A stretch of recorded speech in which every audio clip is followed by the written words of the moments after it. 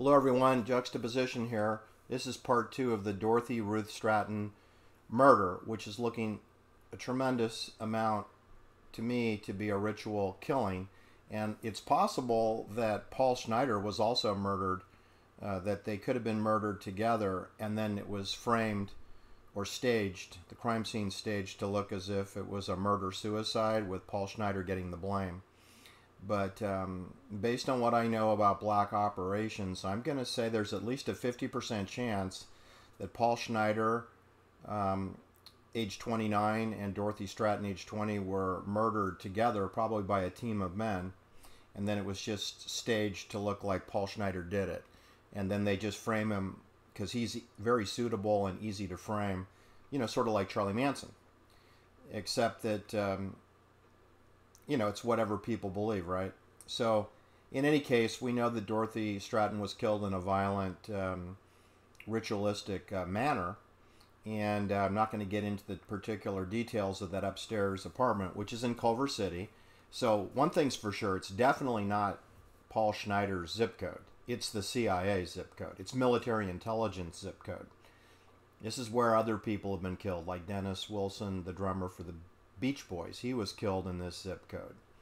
Dorothy Strat- Dorothy uh, Stratten. Before her, we had Sharon Tate. She signed a seven-year contract with uh, MGM Studios, two miles from this murder site, and that ended up taking her life in a ritualistic type way. Not that different than the Dorothy uh, Stratten murder. Well, anyway, what I wanted to tell you, is she gets murdered on August 14th, 1980. She's 20 years old. Peter Bogdanovich is 41 years old. He's having a sexual relationship with her, and he's 20 years older than her. And so, of all the people that are relied upon for the last epitaph of Dorothy Stratten, it is Peter Bogdanovich, her lover, and he selects a passage from an Ernest Hemingway novel, Farewell to Arms where he decides, Peter Bogdanovich decides, he's not her boyfriend. He's a Hollywood director and a pervert. Anyway, he selects this passage, and I'll read it for you. On the tombstone of Dorothy Stratten, it reads Dorothy Stratten, February 28, 1960 to August 14, 1980. The passage reads If people bring so much courage to this world, the world has to kill them, to break them. So, of course, it kills them. It kills the very good and the very gentle and the very brave impartially. If you are none of these, you can be sure that it will kill you too, but there will be no special hurry.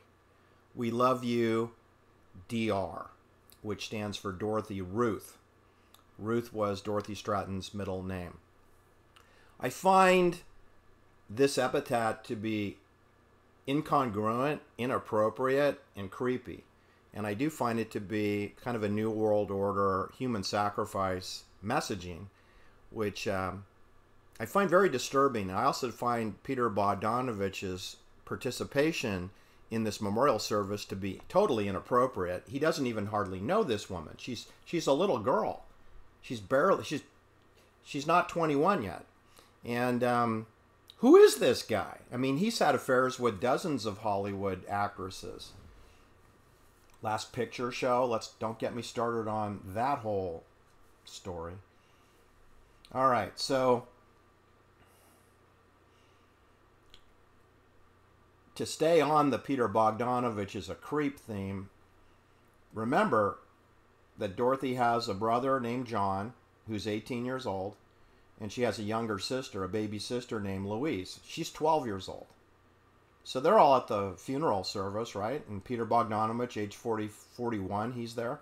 And he's got eyes for Louise, who's age 12. And he and Louise is very similar looking as to Dorothy. They could be twin sisters, except they're eight years apart. Dorothy Stratten stood five foot nine, and Louise Stratten stood five foot four, so she's not as tall. But anyway, I don't know what was going on the next few years, but I have a feeling that the uh, Peter Bogdanovich was uh, spending a lot of time with young Louise, preteen. Anyway, he marries her when she turns 20 years old. the age that Dorothy Stratten was when he was having a sexual relationship with the older sister, right? When Dorothy Stratten was 20 years old, Peter Bogdanovich is having a sexual relationship with her. And then eight years later, he marries the younger sister, Louise, at age 20. I find that beyond creepy. They have a 12 year marriage, and thank God that ended in divorce. So they got divorced in 2001 you know, the year that Ashley Ellerin was human sacrificed 47 times with a bayonet, you know, over there by the Academy Awards, Will Smith, Chris Rock hoax, bitch slap. Two blocks from there, a blonde, five foot four blonde was murdered. That's right. That's what I said. 47 times with a bayonet.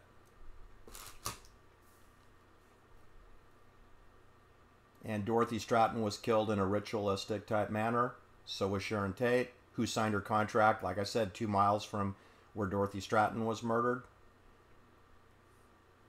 And Peter Bogdanovich wants to do the whole thing all over again in eight years. So now he's 49 years old and he's marrying Louise, who's 20 years old. This is this wackadoodle crazy. So, you know, he's, yeah, yeah you know, he's almost 30 years older. You know, 30 years older. Lord have mercy. Well, anyway, that puts the cherry on top of the sundae. That's what we're dealing with, people in Hollywood perverts and predators. Perverts and predators. And there's a dossier on every single person that you see in Hollywood. And that probably includes people that are off camera as well. It's everyone within the ecosystem. So it's it's the it's the people that work behind the scenes and the people in front of the cameras and the makeup artists because they've all got secrets. It's sort of like doping in sports, right? You can't have a whistleblower. So you just have everybody buys into the formula, everybody gets paid, and then they all deny reality, which is that there's some clean athletes and there's a few dirty ones. When the fact is they're all doing the exact same program because the ecosystem can't function if only some people are corrupt. Everyone has to be corrupted every person, 100%. And that includes, you know, the people that you think aren't corrupt. No, no, they're corrupted too. All right. Thanks for listening. Have a great day and um, hit the like and subscribe. Take care.